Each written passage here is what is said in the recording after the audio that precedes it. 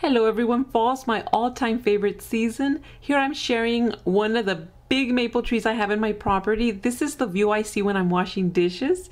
It's just an amazing tree. I love it for the shade and it just makes me feel good. So because it's fall, we're going to be working on a fall nail art design. It's this one right here. We're going to be using just those beautiful colors that show up in autumn. So it's some of those rich browns, a little bit of that burnt orange, and definitely those golds. So I'm going to begin by using this nail polish by Sinful Colors, and this one's called Nirvana. I'm going to be applying it over my entire fingernail. I'm using this color for my pointer fingernail, my pinky fingernail, and my thumbnail. Taking advantage that the nail polish is nice and sticky, I'm placing three gold glitters over the bottom area of my fingernail. And that's it, just apply a top coat of your choice. Let's move over to the next nail art design.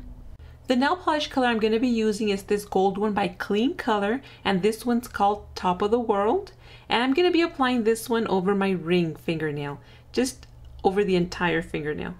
The next color I'm going to be using is another one by Kleancolor and this one's called Gold Shimmer and I'm going to be applying this one on top of the gold nail polish. And that's it, just apply a top coat of your choice to make it nice and shiny. Let's move over to the next nail. For this next nail art design, I'm going to be using this nail polish by Pure Ice, and this one's called Shore Bay. I'm going to be applying this nail polish color over my entire fingernail, and this is the design I have over my middle fingernail. This is the brush brand and size I'm going to be using to paint my leaves, and this is what the tip looks like. So I'm going to begin over the top corner of my fingernail, just painting an almond shape. I'm pointing out this first leaf over the outer corner, towards the outer corner, and I'm just alternating the sides, doing the same exact shape over and over again, just going side to side, going down my fingernail. And I'm starting off with a white base color so that every color I add from here on will pop.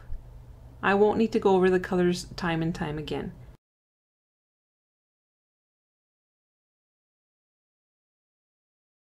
Now on top of the white color, I'm going to be adding the yellow color and I'm just going to go on top of each of my leaves and um, do the same thing to both sides. I'm just going to show you over one of the sides what I'm going to be doing basically to both the sides so that the video doesn't run too long. Now over the outer corners, I'm going to be using an orange color. It's just like forming a letter V over the outer corners of each of your leaves. Do the same thing to both sides. Now I'm going to be making my own burnt orange color, I'm mixing some red with a lot of yellow. So just continue to mix in the yellow over and over again until you get that nice rich autumn burnt orange color. So I'm just gonna continue mixing and adding more yellow until I get that exact tone I want. And here I'm pretty close to it. So what I'm gonna be doing with this color is a letter V on the inner corner of each of my leaves and do the same thing to both sides. Now using a little bit of yellow, I'm just dabbing the center of each of my leaves. Using a dark brown color, I'm going to paint a curved line in the center of my leaves. This is the middle branch. And from here, I'm just going to connect each of the leaves to the center branch. Just stemming a couple of those brown branches going outwards, connecting them to each of the leaves. I decided to use a little bit of gold glitter just going around certain areas of the design. So I'm applying it all around some of the leaves and on some of them I'm just going on one side just to add a little bit of that shimmer, that golden shimmer. And that's it, just apply a top coat of your choice to seal in your design and protect your fingernails. I hope you guys like this design idea for fall and give it a try. Thanks so much for watching and I'll see you next time. Bye!